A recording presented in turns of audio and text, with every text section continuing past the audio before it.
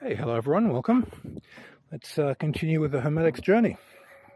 All right, when you're working with the, the elements, in Franz Bardon's book, he works primarily from the level of imagination, uh, the, th the three sense concentration exercises on the color, the, the feeling, and uh, bring those feelings into the body through the pore breathing process. And the, the vital breathing is actually taught afterwards.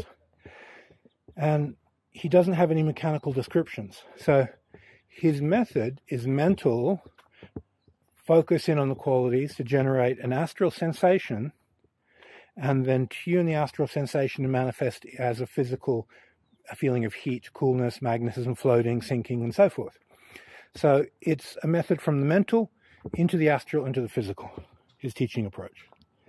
Now, the teaching approach I recommend is actually opposite to that first, and then move from the top down second.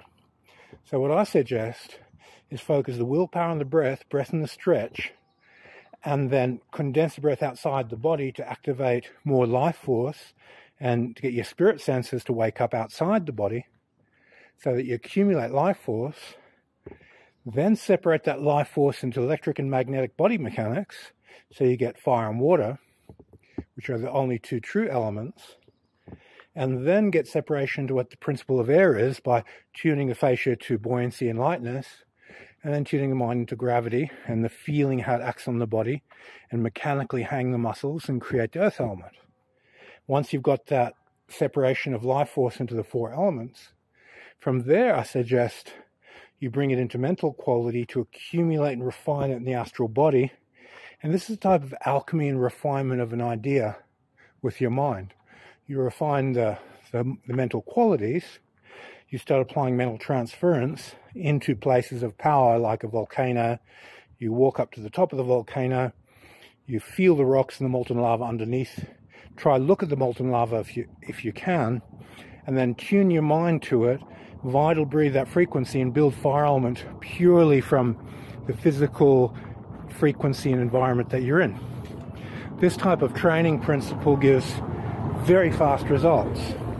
So we're talking about hours of training on vital, hours and separating into electric and magnetic, and hours of air and earth, and then being in places of power where those those frequencies are amplified so your mind can tune in, and then you work from the top down to produce the elements in a much more profound physical way at very, very high speed.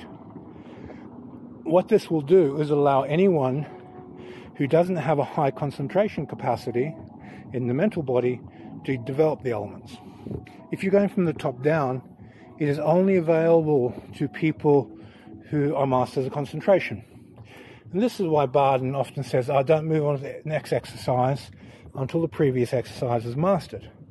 Because in some cases like this, you can't develop his method of the elements without a very high level of concentration.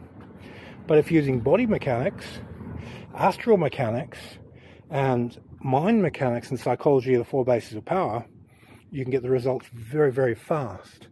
So you can fast track your progress by addressing the, the physical, addressing the astral, addressing the mental, and then syncing them all up to get a result. Uh, very different process.